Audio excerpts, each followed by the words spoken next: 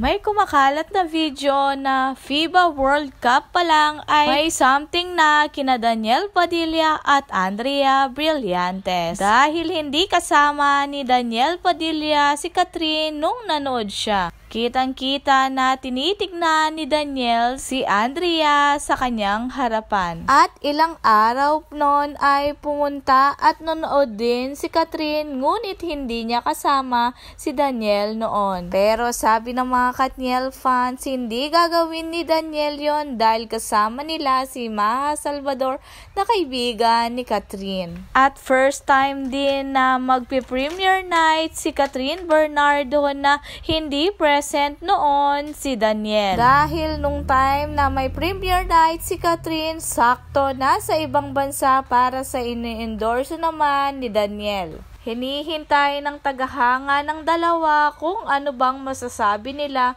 sa issue na ito. At way back 2019, may sinabi si Catherine na pag hindi sila nagpo-post ng picture ni Daniel, it means privacy na lang nila yon. Dahil nananatiling positibo ang mga fans ng Katniel na walang nag-break sa dalawa.